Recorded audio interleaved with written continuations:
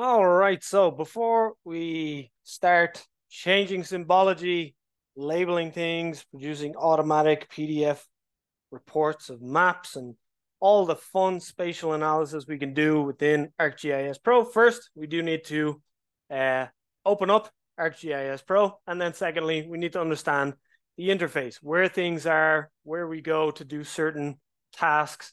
Okay, so that's what this video is about, just kind of getting to grips with the interface of ArcGIS Pro.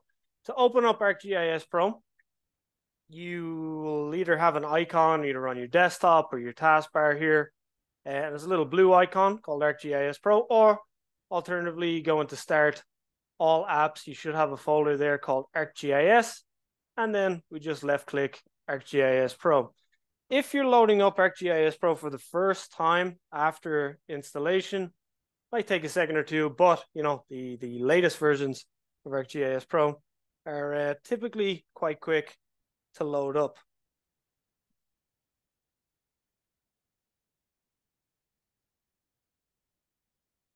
So you can see here, after it initially launches, uh, there's two main mindsets or ideas uh, to keep uh, thinking of when we're getting to grips with ArcGIS Pro. The first one is okay, ArcGIS Pro sounds like it stands for ArcGIS Professional. I personally like to think of it as ArcGIS projects, right? As the first kind of mindset shift that we now have a thing. If you're coming from ArcMap, if you're coming from QGIS, if you're coming from a MapInfo background, the idea in ArcGIS Pro is that it is a project. You can see here, I have one called ArcGIS Pro training course, right? Uh, and it's a .aprx file. What that means is that all my maps, all my layouts, all my 3D scenes, all my toolboxes, all my database connections that I've made as part of a project exist within one file type, and that's the AP or X file. We don't need to worry about you know what each kind of file extension means, whatever, but it's just important to note that ArcGIS Pro is a project based software. The idea being that I have multiple maps, multiple layouts, multiple scenes, multiple data sets, all tied in to a single workspace. That's the first idea to keep in mind. The second idea is that Esri, the people who create, maintain, and ultimately sell you ArcGIS Pro, uh, have quite a substantial partnership with Microsoft. And what that means is that the two companies provide various points of integration between their two software stacks. And yes, it means that we can drag and drop Excel sheets uh, into ArcGIS Pro projects, or there's an Excel plugin for ArcGIS, etc. But it also means that the actual interface, when we're talking about interface, which is what this video is about, if I didn't tell you that Esri were the people behind ArcGIS Pro, you would be justified in thinking that it is a Microsoft product, right? Uh, because if I open up an Excel worksheet here, for instance, you can see here I'm signed in up the top right. So I'm signed into an organization. So there's cloud based licensing happening somewhere. And that the actual product itself, in this case, Microsoft Excel, is divided into what we call tabs up the top. So that's where my file, home, insert, draw, and ribbons, which each tab would have a ribbon of tools associated with it. So if I want to click on data and I click on filter, I get different options to when I click on page layout, size, for instance, right? But, you know, much of the ArcGIS Pro interface is very reminiscent of Microsoft products. So if you're au fait with Microsoft, then uh, you're going to find learning ArcGIS Pro a lot easier. So there's two ideas to keep in mind. Think of it as a project-based system, which it is. And secondly, you know, uh, if in doubt about anything and you're au fait with Microsoft, then try and think of it as a, from a Microsoft perspective. If you're if you're familiar enough with Excel, Microsoft Word, Microsoft PowerPoint, whatever it is, you know, uh, things generally seem to be in the same place in ArcGIS Pro. So there's two ideas to keep in mind. The very next step, so we open up ArcGIS Pro, if we have it on our desktop, if we've accessed it via the start menu, whatever it is, when we initially load it up, we should see recent projects. Now, if you're just getting started with ArcGIS Pro, hopefully not going to see many recent projects here. But that's that's where as you start to, you know, develop your projects, create projects, open up projects, that's where they start to appear. And then up the top, we see map, catalog, global scene, local scene, and start without a template. There are your five ways to create an ArcGIS Pro project. Map, of course, is a 2D, right? Um, representation of the Earth's surface where we can load in data sets. So we can start off with a map, add our data sets into it, and get going straight away. We can open up a catalog view, very useful if you have tons of different data sets and you want to see which ones are GIS readable or not. Catalog is a good way to do it. So it gives you an overview of your data sets. Think about it as a Windows Explorer, right? Your File Explorer, which we all have, right? Um, on, on our Windows laptops and desktops. Uh, but think about it as just a GIS readable version of Windows Explorer. So, for instance, in Windows Explorer, you might have PDFs, Microsoft Word documents, you might have JPEGs. Obviously, these are non spatial data sets. Catalog views or catalog panes rip out all the non spatial GIS data sets and only show you what is quote unquote GIS readable. So, your CSV files, shape files, file geodatabases with feature classes, stuff like that. Yeah. Next, we have global scene and local scene. Now, if you don't know the difference between the two, we're not going to dive into it, you know, because it is a still globally, you know, uh, map is used predominantly. I want to say 80% of the time. You might have 3D products, projects uh, going on within your organization, but just a handy way for now as we start to get to grips with ArcGIS Pro. A handy way of thinking about this is a global scene primarily used for 3D models that are geo-referenced, right? So 3D models that have coordinates associated with them. You can plot that 3D model on the Earth's surface. You know that this 3D model represents a building that is found within a certain city. A local scene then is a 3D model without coordinates. That's not geo-reference, right? It's just a handy way to think about it. Dissect the two. Uh, or if you have local coordinate systems or local projections that you want to use, predominantly use a local scene for that, right? Um, worth noting, you know, that um, when we do get in to 3D models, just a little caveat, I suppose, a vast majority of our coordinate systems that we use um, in ArcGIS Pro, whether you're coming from an Irish perspective, UK perspective, it is indeed um, a, a system that is that is measured in meters, right? So a lot of coordinate systems are in meters.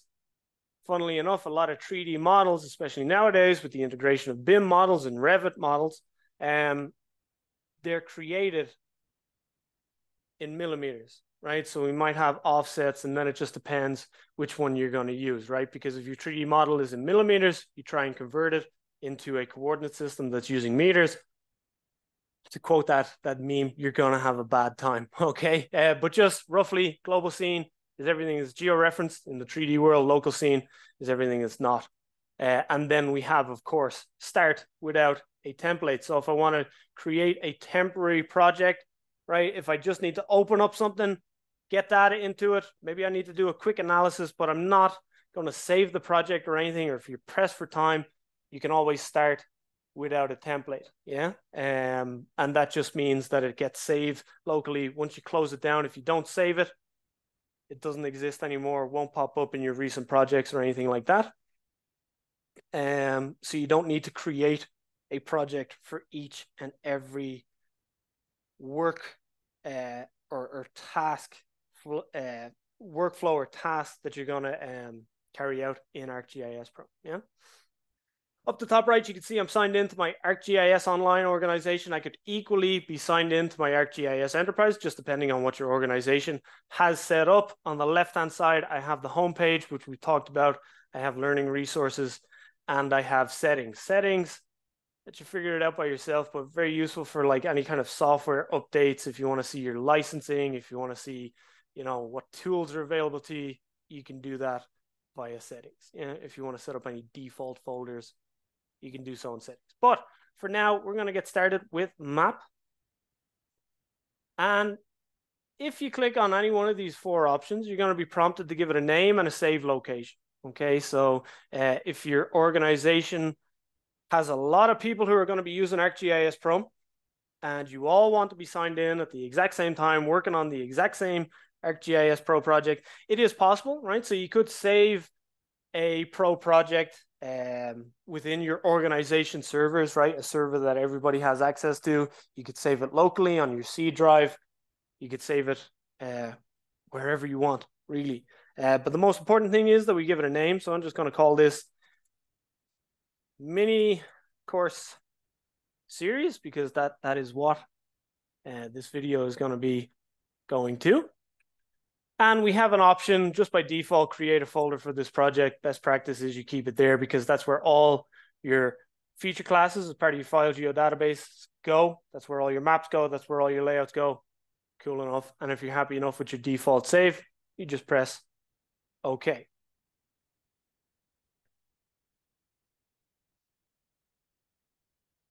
Now, your map view, right, your initial extent might change uh, a little bit from mine, right? Um, my map overview is a is an outline of Ireland.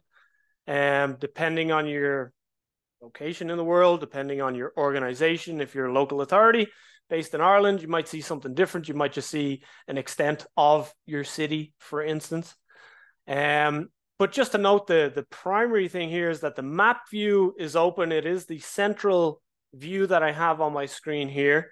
I have a mouse alongside me, right? So if I just use the scroll bar, I can scroll out, I can scroll in, uh, and then I can left click to drag and navigate my map. So I can zoom into an area, I can pan it around, and I can zoom back out. Yeah, uh, just to just to talk about the the main element there, which is my map view. And again, we go back to, you know, the Microsoft Excel snippet that I showed you at the start of this video. And we talked about these tabs, right? So our tabs are slightly different. There's no file, home, data, whatever, right? In ArcGIS Pro, but there's project, map, insert, analysis, view, which we'll get to uh, in, in due course, each one of these and the most important tools uh, within each tab, within each ribbon when we click on map, right, as a starter point for our project, we're going to land on insert. That's not to say, you know, like insert cool, insert a map, insert a layout, insert a 3D scene, for instance. Cool enough. Yeah. But if we start from the top left, we have these kind of quick access icons, right? Uh, if we need to add more to it, we have this downward facing arrow and we can put in a few more options if we want to, right? Um, but just by and large, we have new project, open up an existing project, save this project, which is very important. And um, you'll note as well that it does give you keyboard shortcuts. So if I hover over um, save project, right, if I just press Control S, that does the same thing, right? But then there's undo buttons, Control Z, redo buttons as well, Control Y. Um, but just these handy quick access shortcuts can also be achieved uh, using keyboard shortcuts as well. But just to talk about that, you know, most of the time I'm coming up here and just clicking save. Yeah, uh, very important to save your work as you go through.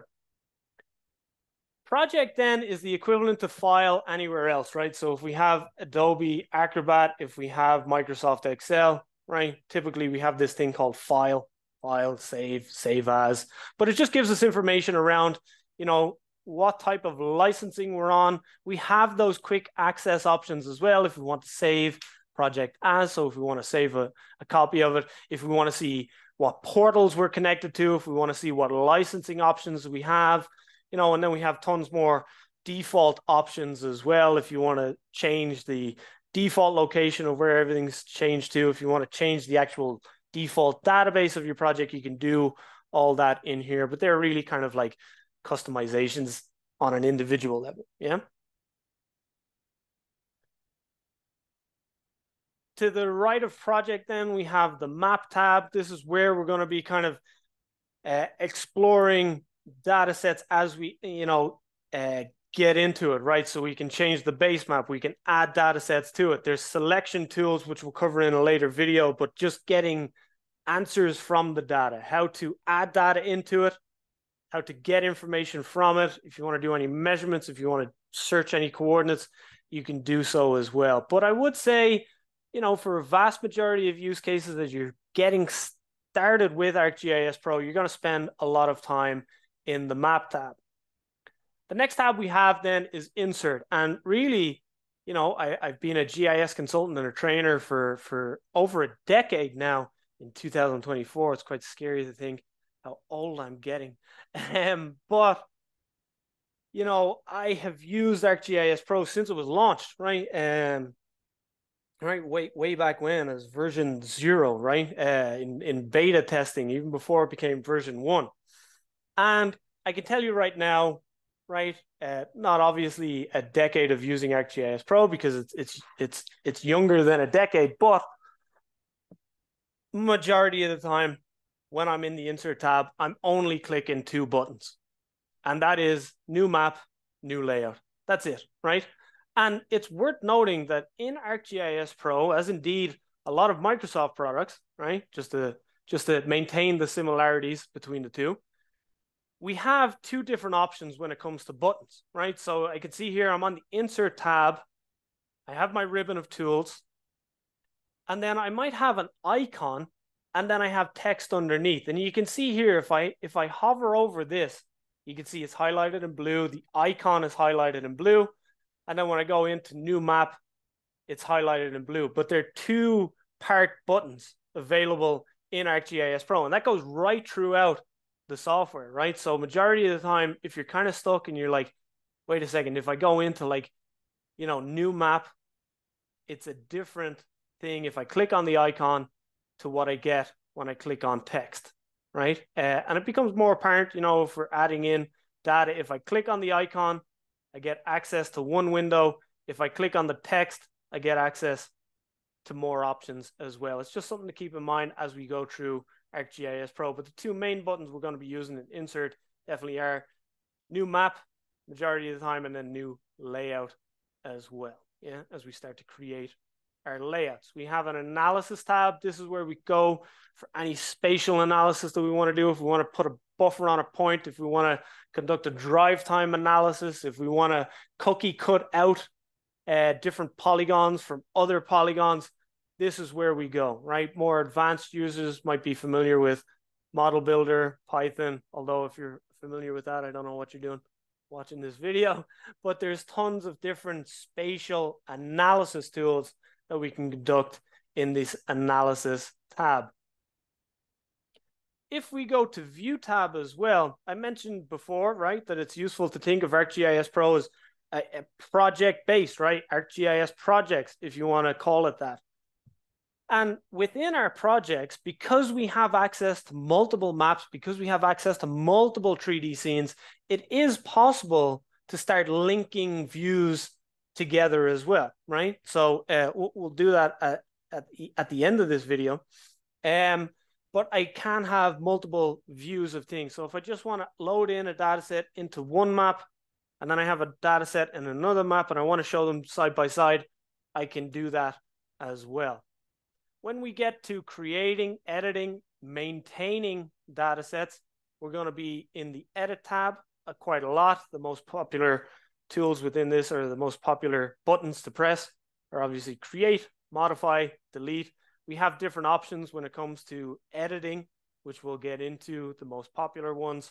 Uh, and then of course, save or discard, right? Uh, edits, right? So we're in editing sessions when it comes to data sets, but we'll cover all that imagery not quite used, right? Uh, not not commonly used uh, in in day to day workflows. But if your organization does have a lot of imagery, there are of course uh, raster functions, which are raster calculators that we can use, and we can subtract imagery from each other. We can utilize deep learning tools as well. So there's deep learning models that might look at a satellite image and start extracting, you know, um, uh, canopy coverage, right? So tree canopies, the areas of trees from a satellite image, and then digitize them into a polygon. There's all sorts of stuff we can do within imagery in ArcGIS Pro.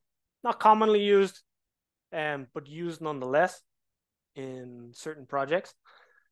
Then we have the share tab. So we have really kind of like a few different options when it comes to sharing. You know, we can package up our whole project and send it on to a colleague or a consultant. Um, we can package up an entire map, right? And all its corresponding features within that map, and we can share it to ArcGIS Online. We can share it to ArcGIS Portal, uh, or we can share individual data sets as well. And, and we'll look at all that. Uh, of course, if we're in a layout view, we can, of course, uh, start exporting PDFs, JPEGs, PNGs, GeoTIFFs, whatever it is. And then, of course, we always have this little help tab that we can come back to uh, and and make use of if needed. Yeah. Just um to finish off this video, you'll notice as well, we talked about the map and okay, on the left-hand side, that's our kind of table of contents where all our data sets are going to be loaded into.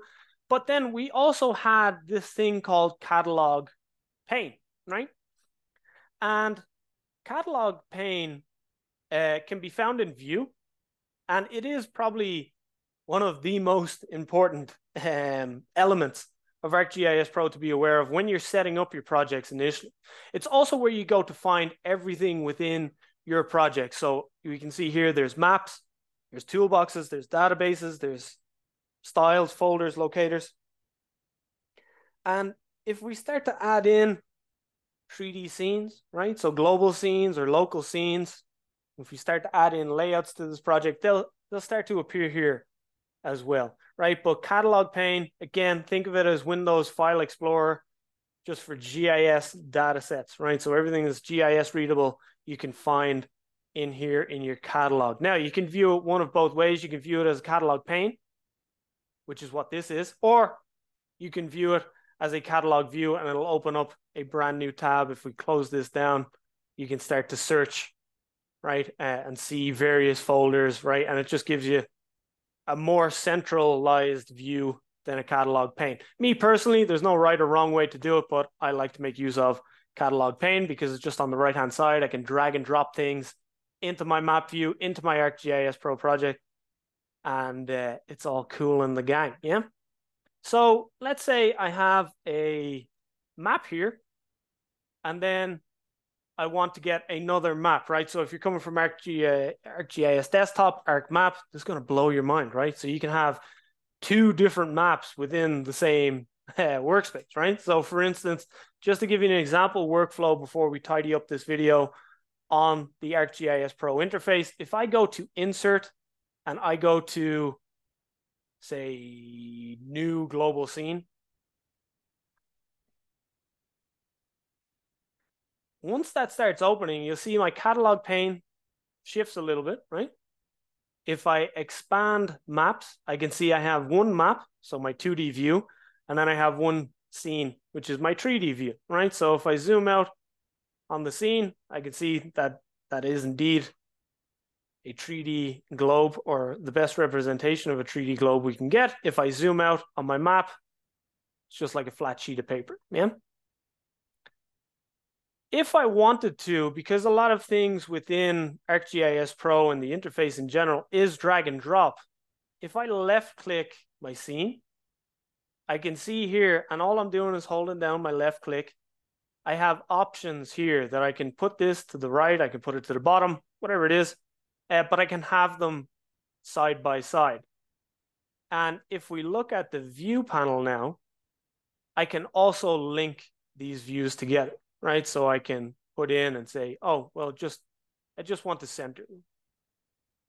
So now when I move one, I move the other. So if I zoom into one, I can use center and scale as well. So that'll zoom me in to the area that I'm in. And I can move it around. And very useful. You know, I can always come back and say, actually, makes more sense if that's on top. Uh, but no matter what extent I'm in, I have options, right? And that's just one simple example with a 3D scene and a 2D map. Uh, obviously, it'll look better if I start to add data to this, but I'm sure you take my point. Unlimited views, we can link them together within the same view, right? So we're in the view tab across here, right? If I want a map and I want to convert it to a 3D scene, I can do that as well, or a 3D scene, right? A global scene to a map. You have options for it, right? But the most important thing we want to drive home is that it is possible to have multiple different views of your data within the same space, indeed within the same screen, and the navigation in it is quite slick as well. If I zoom into an area, start navigating out, it still keeps the same center and scale linked cursor views. Yeah. The other option then, if I ever lose my contents page, I can just get it back by going view contents, right? Simple enough. And then catalog pane, if I ever lose it, I can bring it back up here as well. Uh, you can also, uh, you know, resize your windows as well. So if something's too thick, you can make it thinner, etc. Yeah, but you can see here as I start to create my project collateral, they're going to start appearing here. So map, scene, any toolboxes I created, any databases. Most important ones, I think, just maps. Keep track of it, right? Because I've seen projects with hundreds of maps within the same project uh, which is possible, uh, and also then folders, right? Uh, so if you have a file geodatabase, right, and you'll notice that like ArcGIS Pro creates a default file geodatabase for you. But if you also have a file geodatabase you want to connect to, you can do so. It's the exact same process we're going to do now for folders.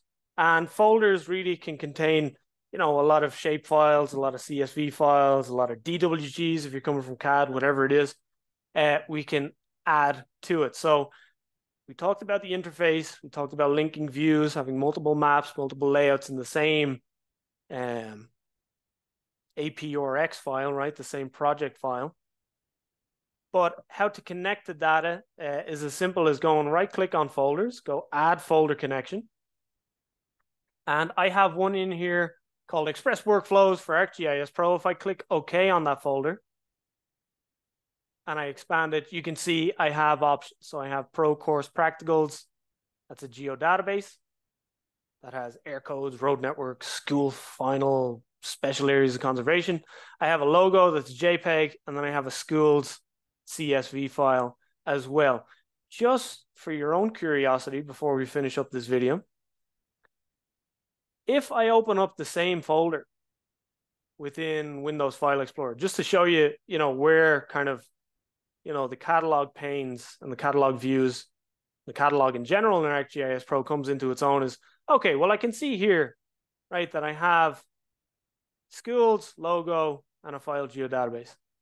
Nothing to write home about. I have the exact same thing if I look at it in Windows File Explorer. However, if I look at something that's only GIS readable, right, this this geo database, this file geodatabase called Pro Course Practicals, I could see here if I open it up in Windows File Explorer, I get a bunch of gibberish, right? I can't make sense of anything here, right? Uh, I can't drag and drop anything, right? If I select things, try and drag them in, I'm going to get a fail message. It's going to add nothing to my Pro project.